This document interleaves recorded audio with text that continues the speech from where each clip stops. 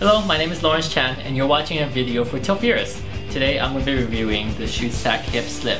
It's a really cool product that I've been recently using for the last two weeks. Since I've been traveling from city to city all throughout the nation, it's been really, really convenient for using this. And all I have to do is go whenever I go through the security checkpoints at every airport, instead of having to take out my laptop and all that, I just put this in the box and just let it slide through the x-ray without any problems. And I just want to talk about the few features that makes this really good because I've had lots of laptop bags in the past and this one so far is the one I like the most. So let's take a look at it, okay? So once we take out the cover, we open it up. Inside, there's the first flap. This is the first compartment, the inner compartment I like to call it. Uh, this is where I put all of my cords and stuff like that, so that's it right there.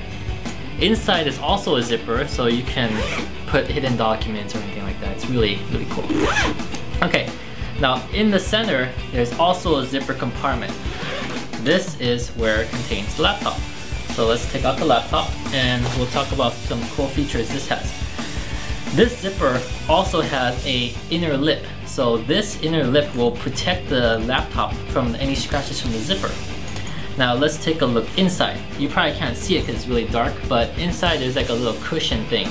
And that cushion rests right under the MacBook Pro, so it makes it a perfect fit, very snug fit.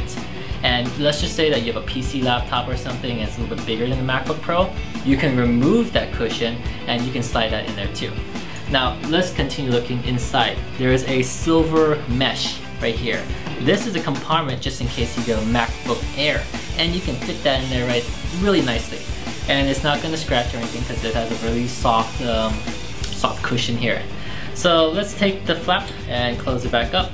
This is, by the way, interchangeable with any chute Shootsac, from my understanding. And in the back, there is another compartment. This is where I put my books, my itinerary, and stuff like that for my flights. And the last feature that I really like is this detachable shoulder strap. So let's just say you don't want to use it, you can take it off and then there you go.